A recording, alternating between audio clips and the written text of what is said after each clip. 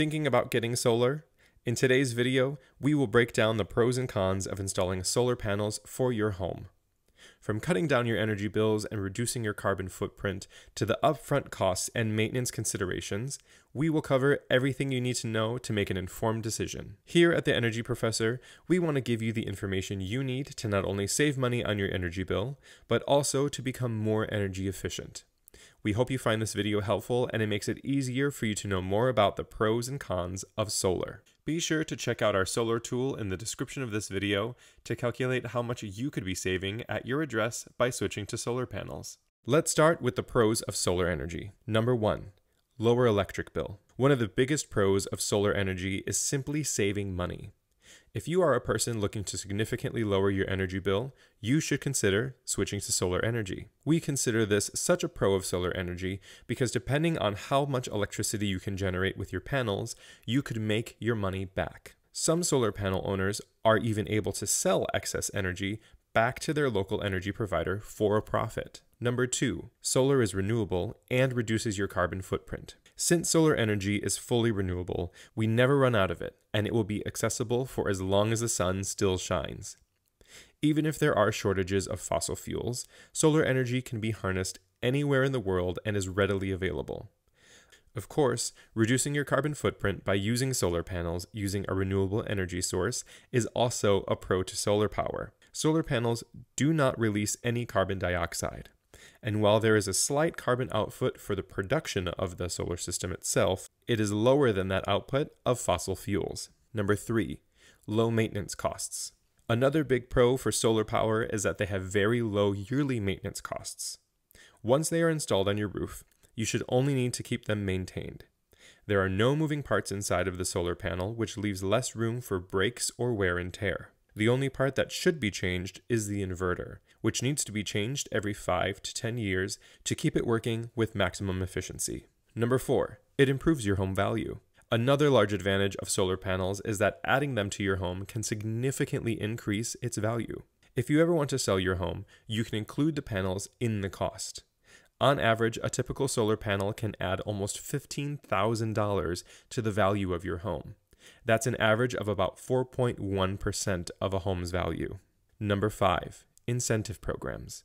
One of the best pros of solar energy is that it has become more affordable now than ever before. Since 2015, costs have dropped about 22% on a full solar system. That is mainly because of the financial incentives available to those looking to install solar panels in their homes. Now that we've discussed some major pros of solar, let's consider the cons. Number one, expensive startup cost. Cost can be both a pro and con of solar energy, in that while they can save you money in the long run, they are very expensive to start up. According to Forbes, the average cost of a solar panel is about $16,000, with the high end being around $35,000 and the low end being $3,500. The cost for solar isn't only the panels, it will include the inverter, wiring, and the cost of installation. Cost of solar panels, however, are plummeting as technology is developing, so we can anticipate the cost getting lower and lower as the years go on. Number two, it's not accessible for every home. While there are panels for just about every single home, the orientation of your home may not be the best for a solar panel installation. If your roof is in a shaded area, or isn't positioned to receive maximum sunlight, you might not want to spend the money to install the solar system on your roof. Number three, they could be hard to install. We think that this is a con because it is another added expense. On top of needing either a contractor or a solar installer to put the panels on your house, you will also need to obtain proper city permits for the work to be done. Number four, weather and daylight dependency. Solar energy is appropriate for most homes throughout the country, but can be rather inefficient in certain climates. Cloudy and rainy days can still provide energy to solar panels, but are much less efficient compared to how they work on a sunny day.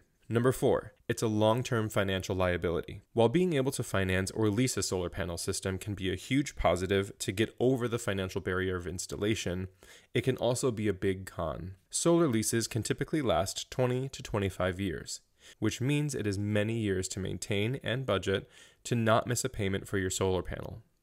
if you happen to come across an unforeseen financial trouble within that time frame, you are still obligated to pay for your panels.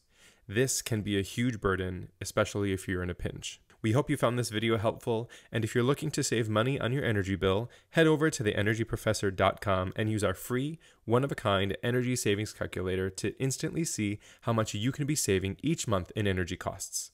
And if you're looking for ways to increase the energy efficiency and sustainability in your home, be sure to take a look at all the latest renewable energy options in your area.